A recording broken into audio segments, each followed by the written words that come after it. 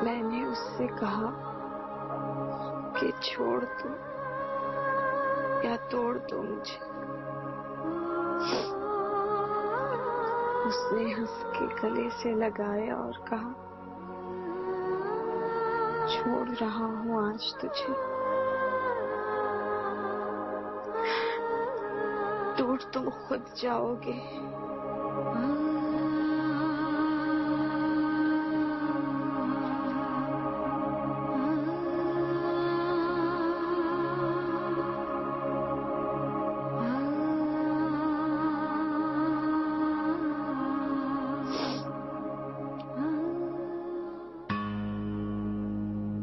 बहुत कहना तेरी बहन। अबे जा, जाके गली के नुक्कड़ पर खड़े लौंडे से अपनी बहन की के सुन।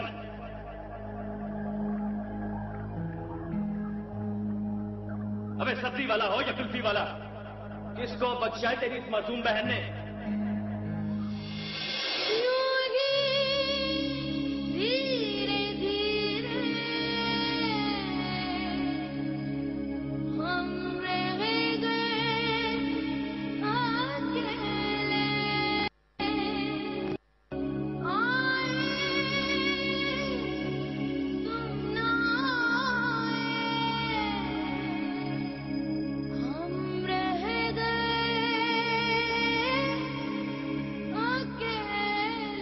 अबे पप्पू, औकात याद दिला दी आज उसको मैंने। बहुत टटर कर रहा था। अबे मैंने बोल दिया, बड़े देखे तेरे जैसे बाइज्जत और गैरतमंद भाई। अबे यार, समझ से बाहर है। जब देखो, गले पे हाथ, गले पे हाथ चटाक भर की लौंडिया संभाली नहीं जाती। चला इज़्ज़त का ठेकेदार बनना है। भाई, तुमने वहाँ फ़िल्म क्या चलाई है? कसम से मैं होता ना मूवी रिकॉर्ड कर लेता पूरी की पूरी। वैसे भाई, एक बात है। जर का है तो चीज़। तुमने कुछ ज़्यादा जल्दी कर दी। जल्दी ड्रॉप सीन कर दिया।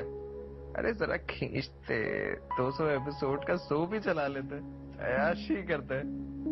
वैसे अब बाइक कहाँ से आएगी? अरे पप्पू जाने। तू किस दुनिया में रहता है यार? तेरा ये भाई जाने जिगर। अब तो मर्सिडीज या बीएमडब्ल्यू चलाएगा। फ्रंट सीट पे बैठी होगी। तेरी भाभी निशाद मलिक और Nisha. Nishad group of industries की मालिक और उस पर होगा मेरा कब्जा। फिर मैं मालिक बन जाऊँगा उसकी जायदाद और दौलत का। क्या समझा? समझा तो ठीक भाई। लेकिन एक बात बताओ वहाँ जाके मुझे भूल भूल तो नहीं जाओगे ना? देखो मैं अमेरिका चला जाऊँगा। अमेरिका जाने के बाद कोई पाँच छह साल में एक चक्कर लगेगा। और शायद ना भी लगे। अरे पप्पू जाने।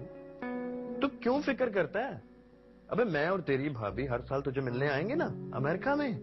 अच्छा तू ये बता कि तुझे अमेरिका में किस शहर में रहना अच्छा लगता? भाई हमारा तो एक ही फेवरेट शहर है न्यूयॉर्क आज़ादी आज़ादी आयाशियों वाला माहौल। सही बोला तू। अपने घर में हर वक्त न्यूयॉर्क की चलने फिरने वाली चीज़ नहीं देखी तुमने? है? कौन? अरे अपना भाई आपा और कौन?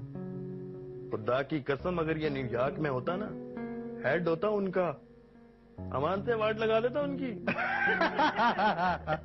वैसे यार पता कर पप्पू जाने ये भाई आप आजकल किन चक्रों में है? ये सिर्फ़ पीता बुलाता है या फिर कोई और भी चक्कर है? और कौन सा चक्कर होगा? क्या कोई लौंडिया वोंडिया का चक्कर तो नहीं है? भाई आपा और लौंडिया का चक्कर। ऐसा सुन लेगा। अरे बाबा क्या करें? इशारा